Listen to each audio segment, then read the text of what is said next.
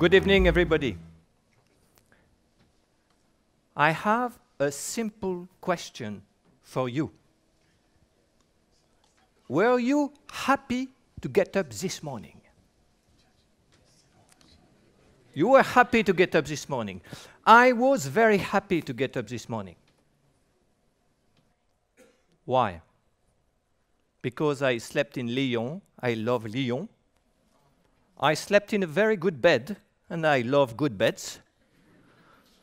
I slept alone, and I like sleeping alone. Oh, uh, sorry, there is part of the sentence which is wrong.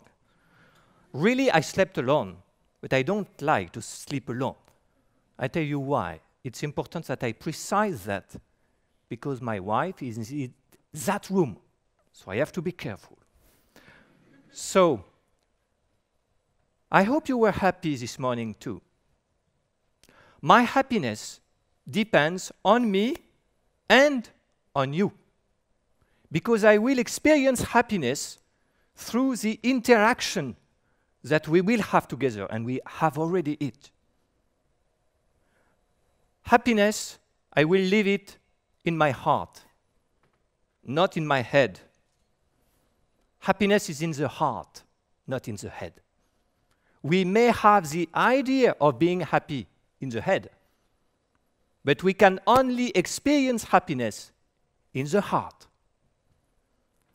So the million dollar and everlasting question is what makes us happy? What is going to make me happier at the end of the day than I was this morning? Happier tomorrow than I am today? And happy until the end of my days?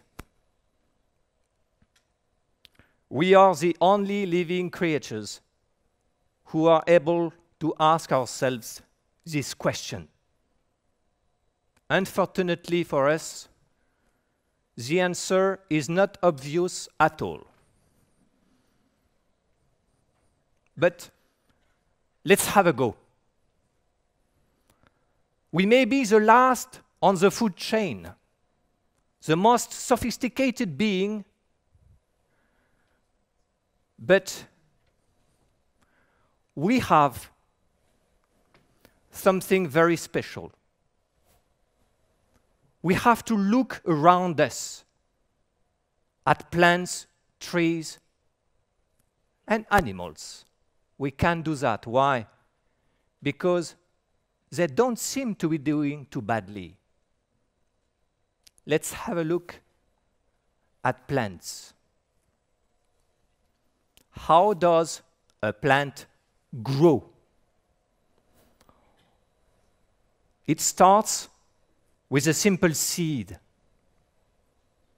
Everything it needs is inside, but nothing is visible. But the seed alone is not enough. It needs earth to grow. But the earth alone is not enough. It needs water. But water alone is not enough. It needs sun. But sun on its own is not enough. It needs air. How does a plant grow? Naturally. But I am forgetting something. Something is missing. Our oldest companion, it is everywhere with us, but we never have enough of it. Time.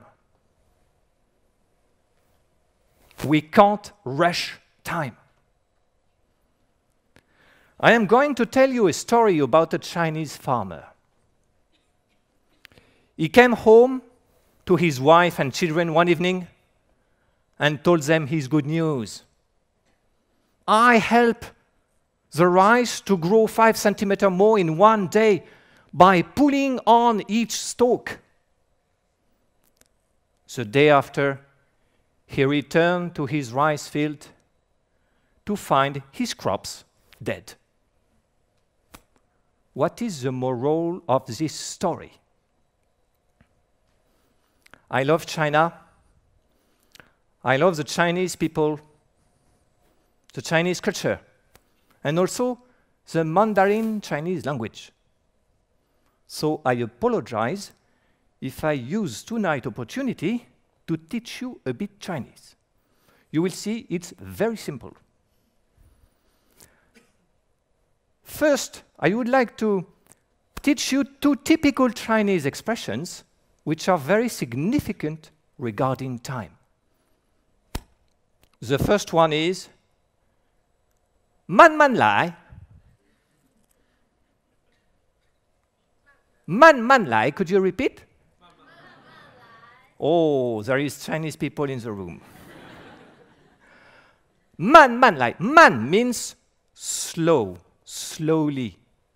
What does man man means?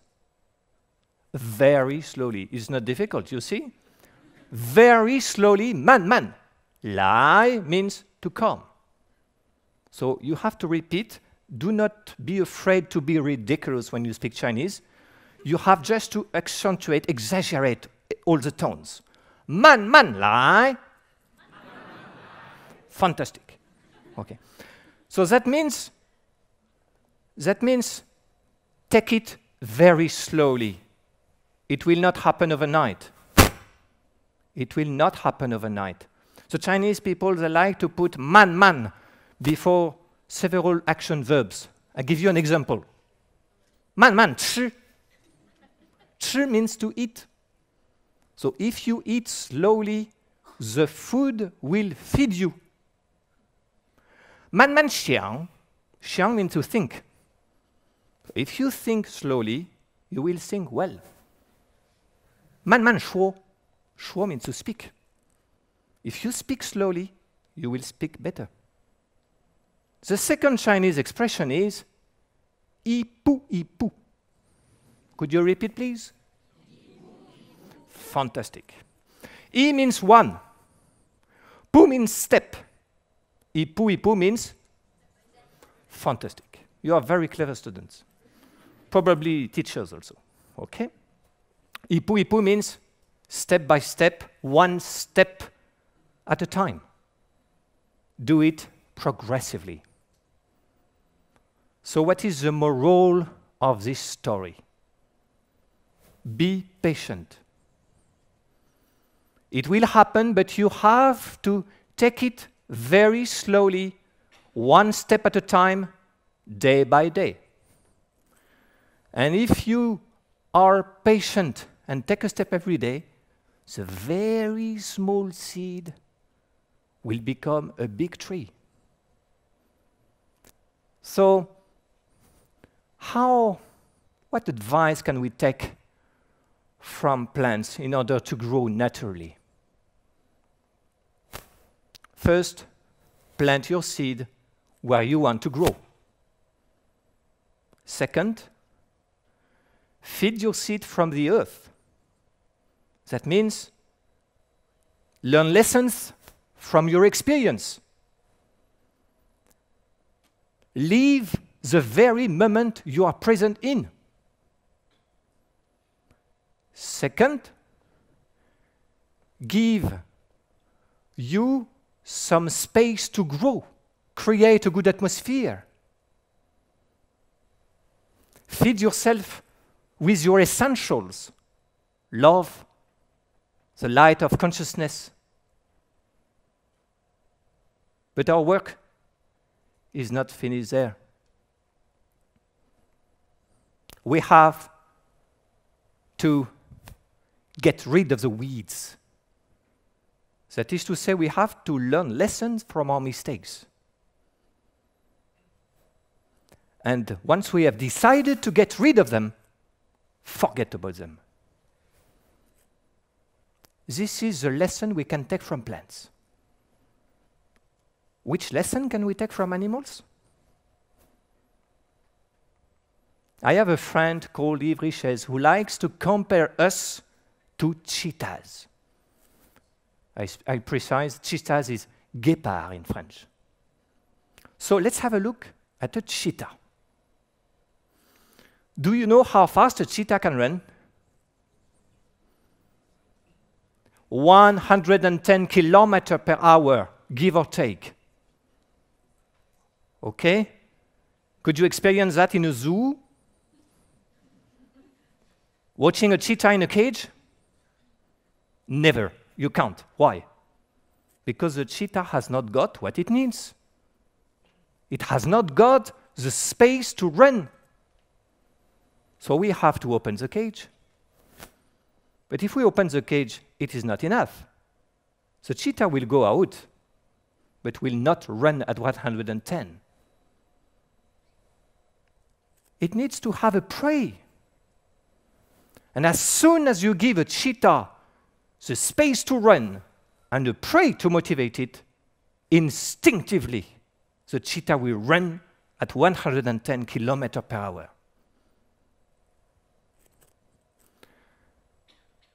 We may be bringing back to us, we may be like a cheetah in a cage. We can't develop our potential without living something. we can't develop our potential without questioning our beliefs, our habits, our certainties. We have to spread our wings and not be afraid to fly to other parts. And we need to have a goal, a project, a mission which gives meaning to our flight. That is the lesson we can take from animals. But as human beings, we have something more than a big tree or even a cheetah. We are able, able to understand, able to love, able to create, able to perform. And we have the freedom to do so. Because unlike animals, we are not controlled by instincts. As human beings, we are all similar. But that is to say that whoever we are, our happiness depends on the way we develop these capabilities. But as human beings, we are all unique. So we have to tailor happiness to our uniqueness to exploit our individual talents and potential. I agree with Nietzsche when he said, Become who you are. But I might be a little bit more ambitious. And I would say, become everything you can be. This begs the question what can exactly can be? What can I be exactly? So, what is my li? Li it is the equivalent of potential in Chinese. What is my li? And I think there are three ways to answer that question. The first one is What am I the most proud of in my life today? What am I the most proud of in my life today? 90% of the people I question answer their families. This is understandable. But my job is not to help people to be first happier in the families they have, but first in the jobs they do. So the question could be um, what am I the most proud of in my work? If I can't find an answer, I can ask myself the second one What do I do well, effortlessly, and without having learned to do it. What do I do well, effortlessly, and without having learned to do it? If you can't answer that question, be sure that people around you can answer it for you. So you may ask yourself the third question What do people approach me for? What do people approach me for? If I can leave you with three pieces of advice to conclude. The first one could be learn what you love and understand what you learn. Learn what you love and understand what you learn. The second one could be do what you love with the people you love. Do what you love with the people you love. If you don't do what you love, try to love what you do. If you don't love, you don't work with the people you love, try to love the people you work with. If you can't do any of that, change job. And the third one, be patient and take a step every day. So the last conclusion, we can do it together, please. You are now able to do that. First one is fantastic, and the second one is fantastic. I thank you very much because thanks to you, I am a bit happier now than I was 10 minutes ago. Thank you very much.